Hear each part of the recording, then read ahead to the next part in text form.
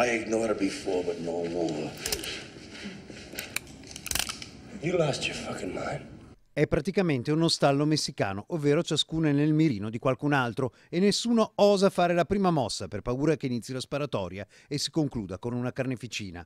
In metafora, politicamente parlando, questa è la situazione a Bassano per la corsa a sindaco. È vero che il centro-destra ha di fatto scelto Elena Pavan e che il centro-sinistra ha deciso per Angelo Vernillo, ma entrambi i candidati, che sono presentati come figure di sintesi dalle rispettive coalizioni, sono meno radicati di quanto si pensi l'avvocato Pavan perché appare come imposta con la forza della Lega ruggente di questo periodo e Vernillo perché a furia di voler accontentare i centristi, che poi va a capire chi sono, quanti sono e se ci sono ancora, rischia di scontentare l'ala più attiva e moderatamente progressista di chi sta governando adesso a Bassano.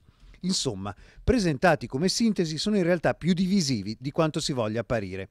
E chi vuole cucire a centrodestra e a centrosinistra ha non poche difficoltà ancora da superare. In particolare è dai corridoi del centrosinistra che arrivano molti spifferi.